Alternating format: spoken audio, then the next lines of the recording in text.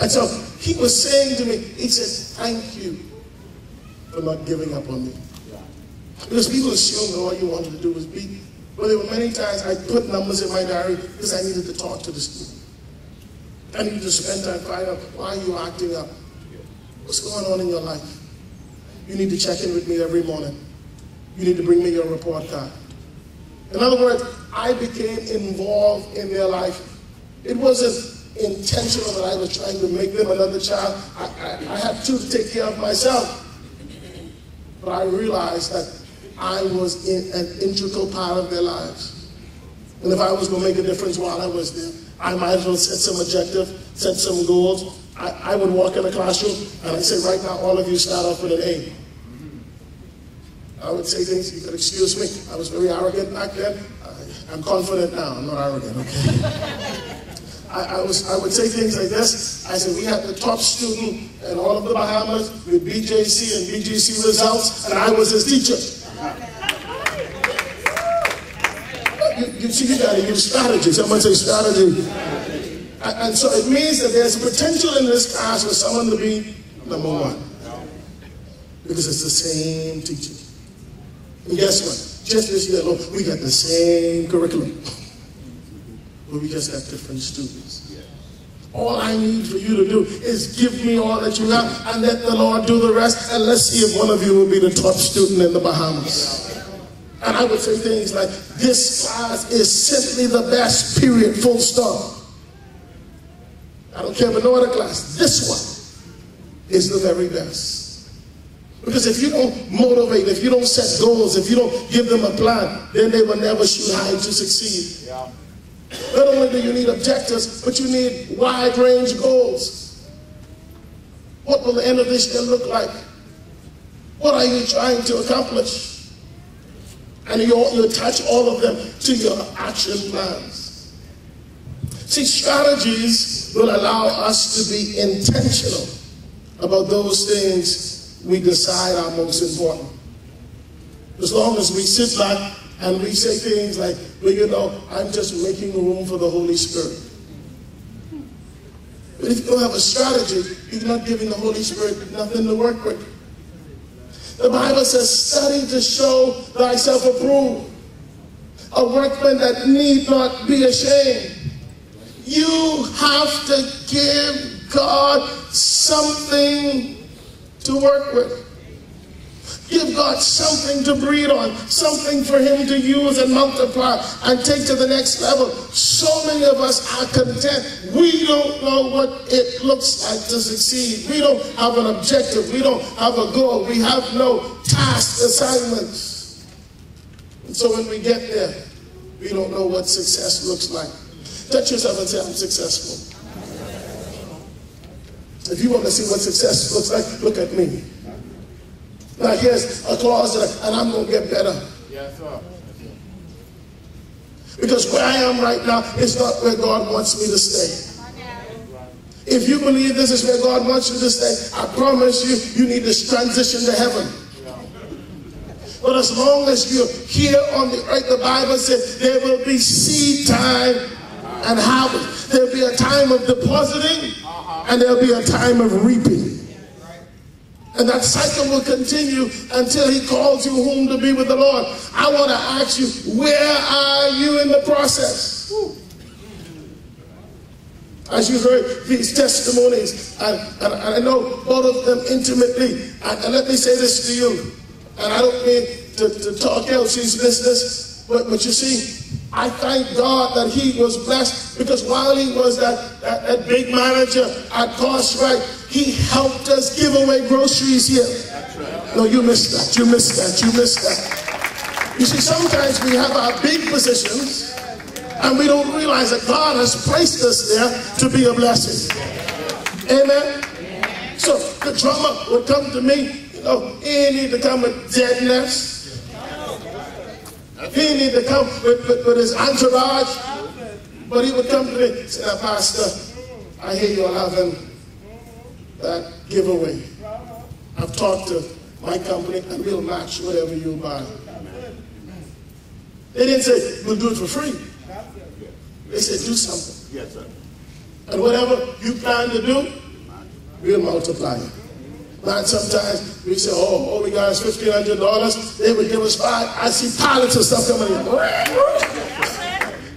So much so that we would just give away bags Christmas time. Just bags and bags of groceries. Bags and bags of groceries. But you see, sometimes we miss why God put us in these positions. Yeah, yeah, yeah. Now, now that's that's one that goes here. But I, I went to some island butler uh, the other day to buy something extra. And, and I, I call his name because this is what he said to me. he look at me, don't call his name. Uh, one of the Butler brothers came up to me and they said, Reverend Fernando, you still giving away back to school supplies? Amen.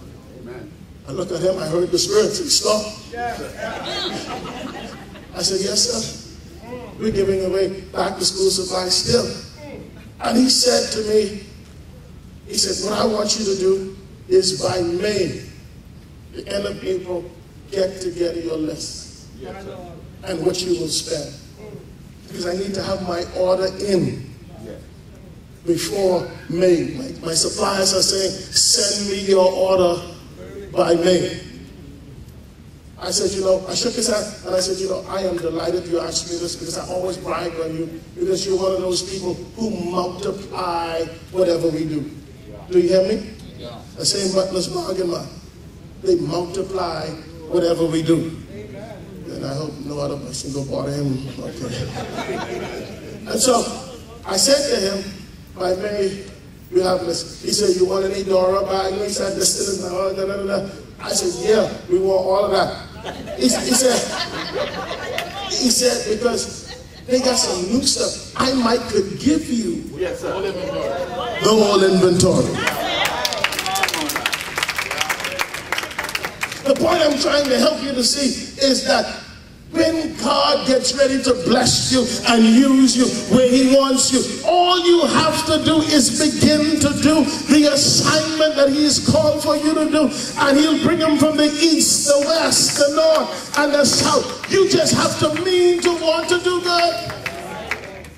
I think that's the essence of what we're talking about in our text. That some of us have given up because we've met the scoffers. We've met the people who say it cannot be done. We've met the people who said we've tried it before. But here is Nehemiah, simply a cupbearer, bartender, if you would, a waiter. That God, listen to the preface of what I've said. I said this at the 7 a.m. That God's wish for him was for him to be the governor of Jerusalem. It can take a long leap for you to get there. But if you at the end of the sermon you get it, someone will shout hallelujah. He was a cupbearer. God's desire for him was to be a governor in Judah.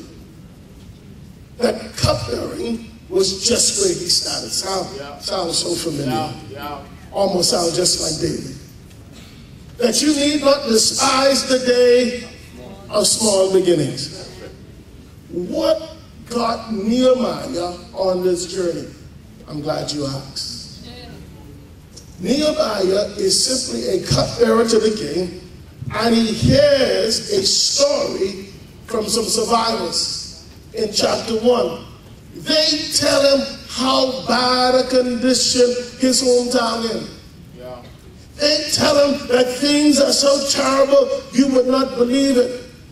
And here's what he says in verse 1 chapter 1, verse 3. And they said to me, the survivors who are left from the captivity of the prophets, uh, and they're in great distress and reproach. The walls of Jerusalem is all broken down, and its gates are burned with fire. So it was that when I heard these words, that I sat down and wept and mourned for many days.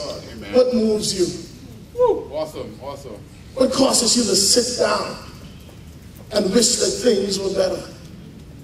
And not only did he sit down and weep and mourn for many days, he said, I was fasting. I was petitioning heaven on behalf of my people for an answer.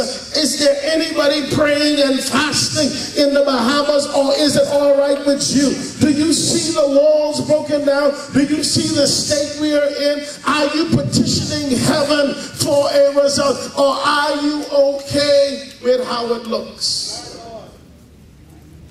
And I said, I pray, Lord God of heaven, oh great and awesome God.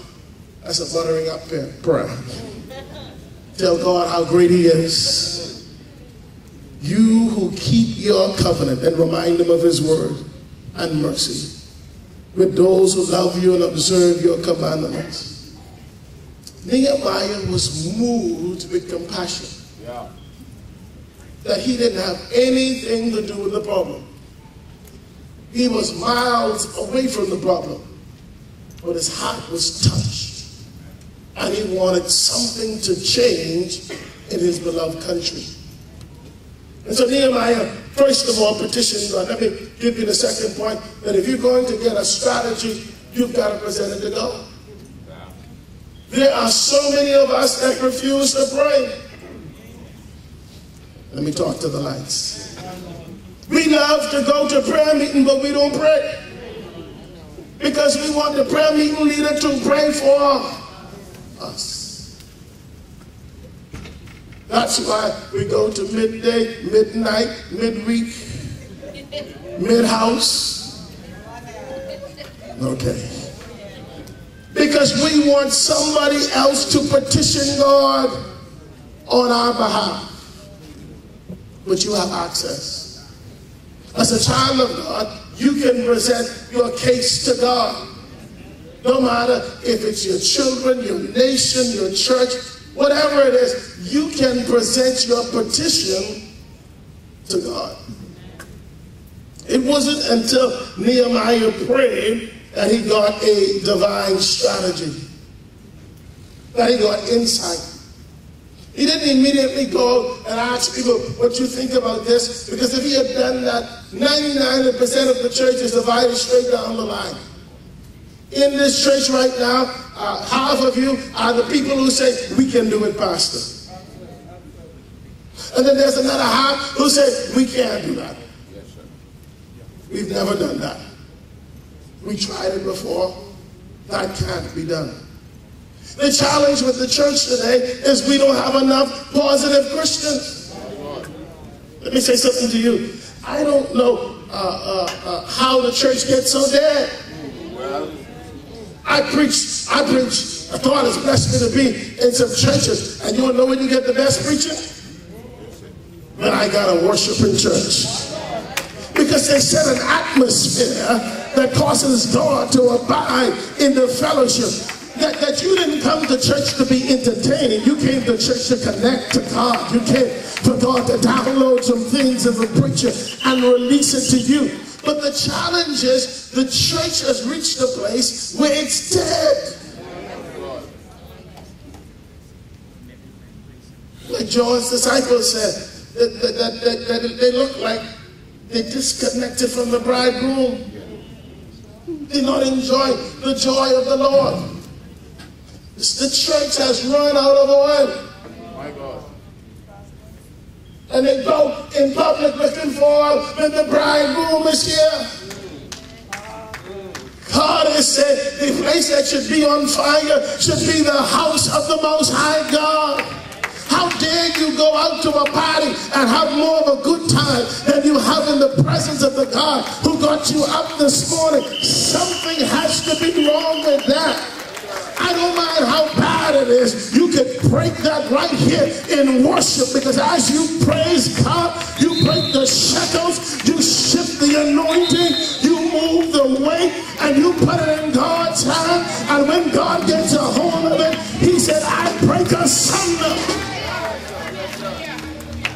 But the challenge is you've gotten too comfortable in the presence of God. That, that God is your friend. He's your buddy. If you ever knew the awesomeness of God, if you ever knew what God could do while you in worship, if you ever knew that God could change it just in one amen, just in one thank you, Jesus, God can release things that have been held up in the third heavens. And if you will open your mouth, God said, I'll cause the rocks to cry out for you. What I need, I'll call out on my own. And I'm not afraid to shout Jesus. So the challenge sometimes is that